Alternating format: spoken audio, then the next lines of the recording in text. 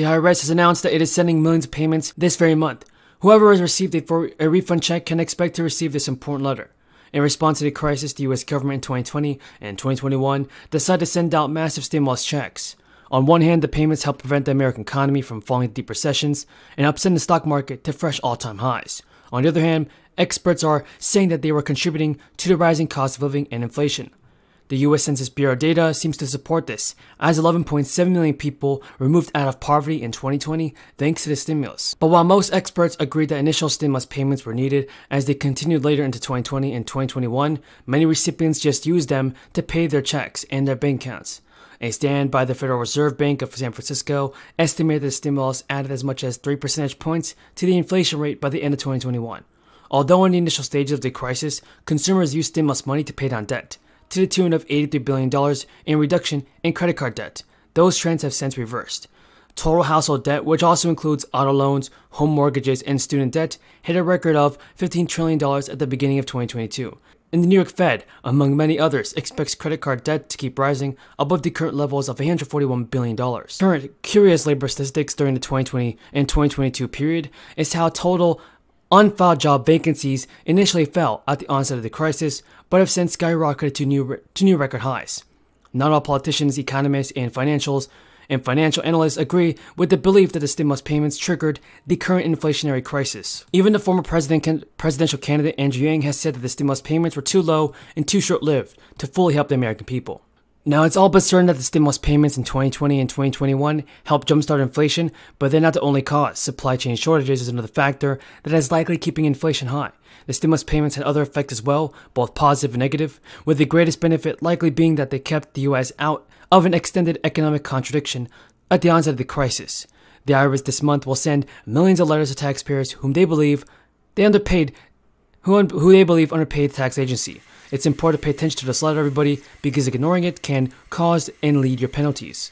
The IRS issues roughly 9 million of these letters annually, and this letter, and this year the letter is unusual, given that the agency had stopped sending many types of notices and letters due to the crisis.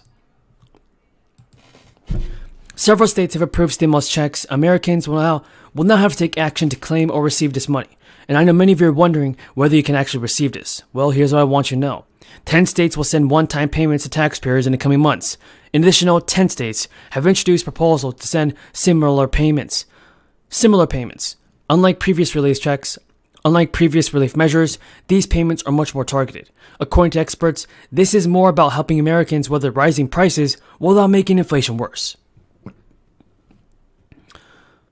Plans focused on specific sectors of groups or gas cards or disbursements based on income thresholds. In theory, it could help ease the pain caused by the pieces of specific goods or, or services without putting as much pressure on prices more broadly. To prepare them for retirement, the Social Security benefits that they will receive are inadequate to allow them to live out their remaining years in dignity. So, what this budget resolution brought forth by Senator Paul does is exactly the opposite of what we should be doing. Instead of expanding Medicare to make sure that every man, woman, and child in this country has health care as a human right, this is a budget that would lead to devastating cuts to Medicare, cuts to Medicaid. Democratic lawmakers are finally making huge progress on the fourth stimulus package, and it has been decided that billions of dollars in unused relief money will be going towards new stimulus checks for certain Americans. If you want to receive this fourth stimulus check, then be sure to continue watching this video because you definitely don't want to miss out on this. The Pennsylvania legislature has until June 30th to pass a new budget approaches. Pass a new budget, support for some spending of the state's billions of dollars in remaining stimulus money, and surplus tax revenue is gaining bipartisan action. Discussions are preliminary, and top budget negotiators want to reach a deal as soon as possible, but lawmakers, lobbyists, and top staff pointed to a small number of partisan proposals that have been put forward on issues from the environment to childcare that could be building blocks for a spending plan. The House Appropriations Ch- Committee Chair told reporters this week that we move forward trying to identify areas of agreement first, and then we'll identify areas of disagreement and try to work through those. Each year, Pennsylvania's governor and legislature must agree on how to route tens of billions of dollars to education, economic development, and human services. These are decisions that affect every person in Pennsylvania. But the state's financial picture has changed in recent years, with the state's coffers getting $8 billion boost from stimulus money in 2021. In response, Wolf and his legislative allies called on the legislature to spend some of that windfall on higher education, paid family leave, and school repairs, among many other priorities. Early this year, Wolf released a budget proposal that would appropriate billions of dollars more to education and infrastructure. Republicans countered that additional spending would, actually, would actually fiscally be responsible, but everybody. Pennsylvania still has about $2 billion in remaining stimulus money, and at least $5 billion in surplus tax revenue. To address the soaring cost of living and inflation, Governor Wolf is pushing the legislature to approve using American Rescue Plan money to give people $2,000 stimulus checks. They would go to every household earning less than $80,000, which is the majority of people in Pennsylvania. Other issues are are getting Republican attention, everybody, like more state funding for childcare and pre K, nursing home, and housing.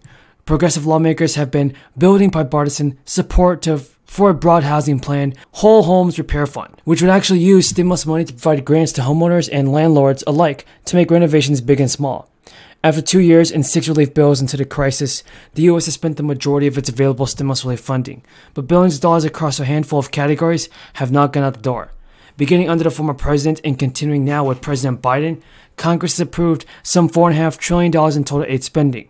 According to Treasury Department data, federal agencies have formally committed to using about $4 trillion in that, and have made about $3.5 trillion in actual payments to date. Budget experts say that it can often take time for the total pot of funds to make its way to the American people.